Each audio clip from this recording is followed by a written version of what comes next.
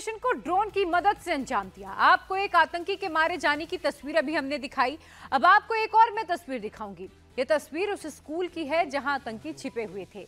आप देखिए कैसे सेना के जवान पूरे ऑपरेशन को ड्रोन की मदद से अंजाम दे रहे हैं। वीडियो में देख सकते हैं कि एक आतंकी कैमरे में जो कैमरे की नज़र से आप देखिए कि कमरे में एक आतंकी गिरा हुआ नज़र आ रहा है। वो भी सुरक्षा बलों की गोली का शिकार हुआ है। सुरक्षा बलों ने तीन आतंकियों को ढेर कर दिया है। ये सारे आतंकी यहाँ एक स्कूल में छिपे हुए थे। इंडिया टीवी की टीम भी ग्राउंड ज़ीरो पर पहुँची, जहाँ पर ये आतंकी छिपे हुए थे। वहाँ से मैं आपको एक रिपोर्ट दिखाऊँगी।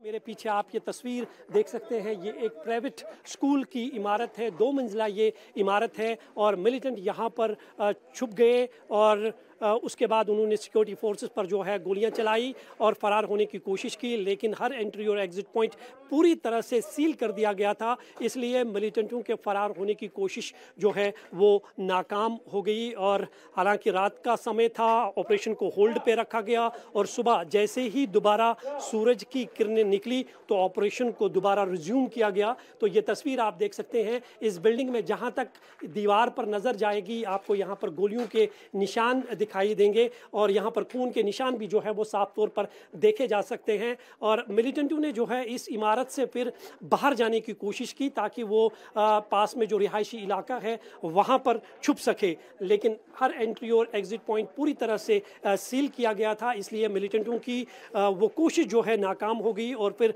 ड्रोन की मदद से जो है मिलिटेंटों की लोकेशन जो है वो ट्रेस की गई। और उसके बाद मिलिटेंटों के खिलाफ बड़े पैमाने पर सूरज की पहली किरण के निकलने के साथ ही ऑपरेशन शुरू किया गया। ये तस्वीर आप देख सकते हैं, ये प्राइवेट स्कूल की बिल्डिंग बताई जा रही है। इसमें जहाँ तक आपकी नज़र जाएगी, आपको सिर्फ़ गोलियों के निशान दिखाई देंगे और खून के निशान जो है वो साफ़ तौर पर यहाँ पर देखे जा सकते हैं। यहाँ पर कोई कैब भी दिखाई दे रही है। ये कैब क्या किसी मिलिटेंट की है या किसी और की है, ये कहना फ़िलहाल इसके बारे में कोई जानकारी नहीं है, लेकिन मिलिटेंटों के खून के जो निशान यहाँ पर है, उसे अब साफ़ किया जा रहा है।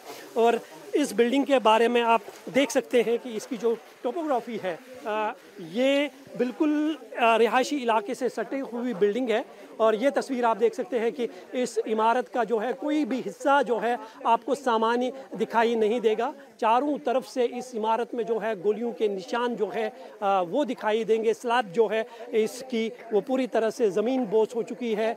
और ये छत जो है ये वॉल जो है आप देख सकते हैं कि किस तरह से जो है पूरी तरह से ख़त्म हो चुके हैं, क्योंकि मिलिटेंट जो थे, वो तीन लोकेशन से सिक्योरिटी फोर्सेस पर लगातार फायरिंग कर रहे थे।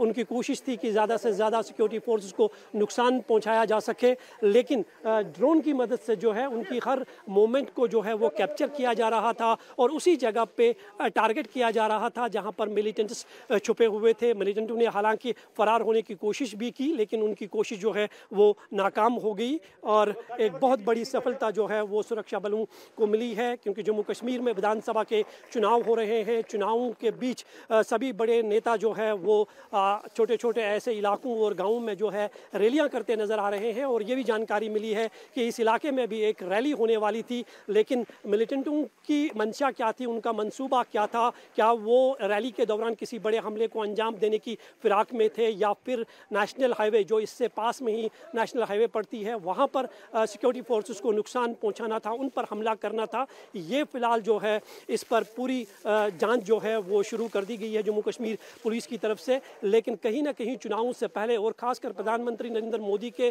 श्रीनगर के 19 तारीख को दौरे के दौरान सिक्योरिटी फोर्सेस को पहले ही अलर्ट पर रखा गया था और उसी अलर्टनेस की वजह से एक बहुत बड़ी सफलता जो है सुरक्षा बलों के हाथ लगी है। तीन मिलिटेंट्स मार गिराए जा चुके हैं और माना जा रहा है कि उसमें से दो मिलिटेंट फॉरनर्स है, एक मिलिटेंट जो है वो लोकल हो सकता है। उनकी किस संगठन से वो संबंध रखते हैं, फ़िलहाल इसकी जानकारी नहीं मिली है, जिसकी जानकारी जम्मू कश्मीर पुलिस से जो है थोड़ी देर में शेयर करेंगे। लेकिन यह अपने आप में अब तक की जो है बारामूला में बहुत बड़ी मुठभेड़ मानी जा रही है, जिसमें तीन मिलिटेंट्स जो है अब तक मार गिराए जा चुके हैं इस ऑपरेशन में और मारे गए मिलिटेंटों के पास से भारी मात्रा में उनका हथियार और गोला बारूद भी बरामद कर लिया गया है।